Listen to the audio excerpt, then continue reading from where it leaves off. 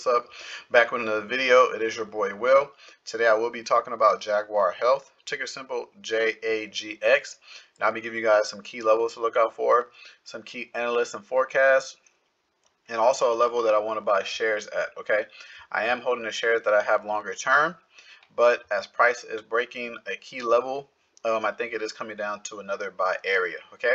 So hope you guys like this video. Make sure you hit that uh, like button subscribe, and turn on post notifications so you don't miss any updates, okay? So let's zoom out. Now these levels are still relevant. They have not been really hit yet. This is just an old resistance high, and this is an old resistance at 334, okay? So make sure you have those levels on your chart just in case price goes higher. As you guys know, price is coming lower. Now, this is a key resistance at $2.33. Price has not hit it yet, so I will leave it here okay, just in case price doesn't want to go up.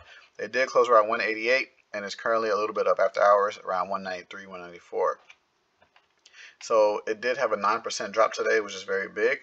But overall, the whole market is dropping. So this doesn't really surprise me that it's breaking um, some of its supports. Okay, this was the last defense at 202, and it does look like it's breaking it. Okay, I will wait for tomorrow to confirm that it broke this support, and if it does, then a key level that I'll be buying off of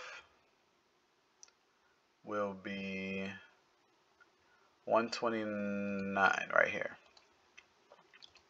This is a level I'll be buying uh, shares at to add to my longer term position. I am more, uh, let me zoom out some more so you guys can see. So let me zoom in. So right here is where I'll be trying to get some more shares at. If price does fall down here and hit this price, this level is 129, okay? Like I said, it is breaking the last defense. So if it does start to fall down, I'll wait. Like I won't get nothing in this area. And right here, I think we will see some buying pressure.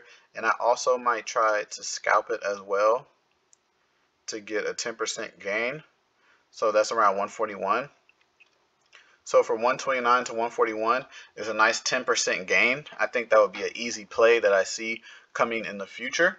Okay, so have this level on your chart for a buying area and keep this resistance level at your chart as well because it needs to confirm tomorrow that it has broken this and start going lower. Okay, which I think it has broke it. Okay, keep this resistance level. It has not hit yet. So this is still a key resistance that we want to have and also keep these levels on your chart as well. Okay, but that's how I'm playing um, Jaguar Health stock, ticker symbol JAGX. I'll wait to see confirmation tomorrow for the breakdown. Now, if it comes back up and opens above here, I will wait. Okay, I'll just be waiting to see if I need to add shares or not. And if it stays above here, I'll be waiting. But if it breaks down here, I'll be waiting for it to hit this level to get in shares. But in between here, I'll be waiting. Okay, so that's how I'm playing the stock. Hope you guys like this video. None is a recommendation to buy or sell anything, just for educational purposes only. So do not trade anything you see or hear in these videos, and I'll catch you guys in the next one. Bye.